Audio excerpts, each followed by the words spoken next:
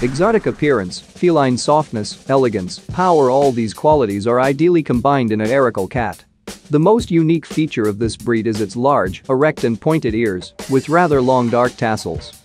Despite the high price and difficulty in keeping, Caracals are becoming increasingly popular among lovers of exotic pets. The Caracal cat breed was created by nature, not by man.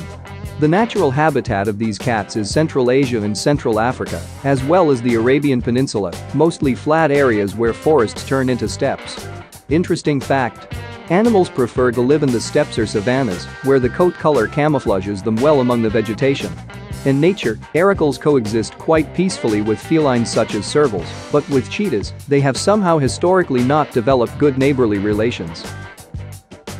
Unusual and exotic appearance, excellent health and strong immunity, resistance to most of the most common feline diseases, dog devotion to the owner, the ability of kittens to quickly adapt to a new home, playfulness, activity, curiosity, love for affection and attention, love of freedom, but at the same time trouble-free accustoming to walking on a leash.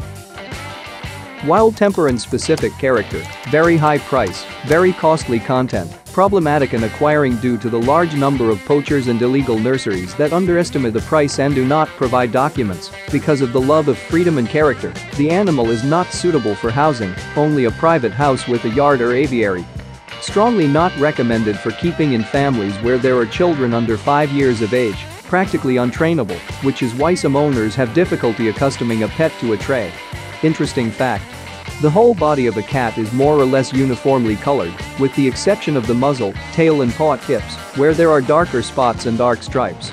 Despite the very high price, Caracal is becoming increasingly popular among lovers of exotic animals. According to the statistics, which is maintained in the largest nurseries, more and more Caracal kittens are purchased from year to year. At the same time, the share of private owners is steadily growing.